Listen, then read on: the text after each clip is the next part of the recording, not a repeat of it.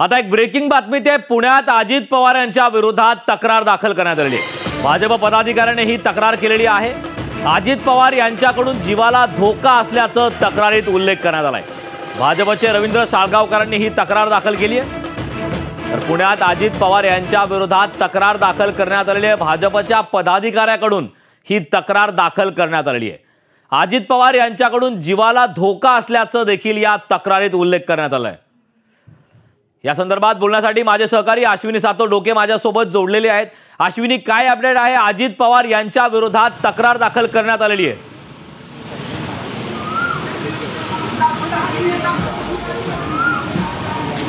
करण शिवाजीनगरचा भांबुर्डा हा जो परिसर आहे तर म्हणजे ई स्क्वेअरच्या समोर एक मोकळा प्लॉट आहे.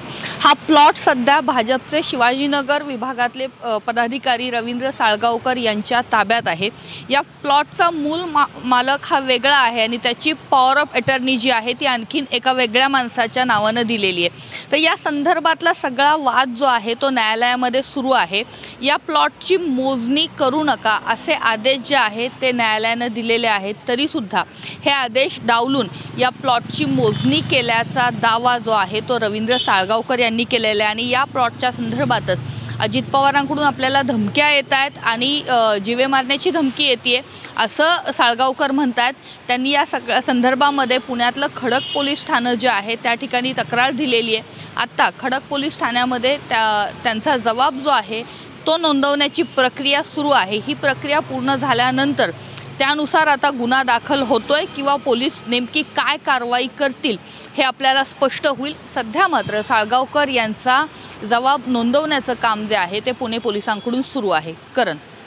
नक्कीच अश्विनी खरं तर भाजपचे रवींद्र साळगावकर यांनी ही तक्रार दाखल केलेली आहे. ही तक्रार नेमकी कुठल्या पोलीस स्टेशनमध्ये केलेली आहे आणि तक्रार नेमकी केव्हा दाखल केली? या संदर्भातली नेमकी काय माहिती आहे? कारण पुण्यातलं जे खडक पोलीस स्टेशन आहे त्या खडक पोलीस स्टेशनमध्ये ही तक्रार जी आहे ती साळगावकरांनी दिलेली आहे ख- पुण्यातल्या खडक पोलीस स्टेशनमध्ये ही तक्रार जी आहे ती साळगावकरांनी दिलेली आहे.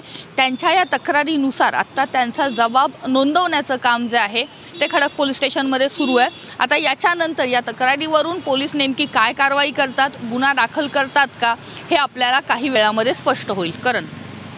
नक्कीच अश्विनी या संदर्भातले अपडेट्स आपण घेणारच आहोत. मात्र तुर्ताच या माहितीसाठी खूप खूप धन्यवाद.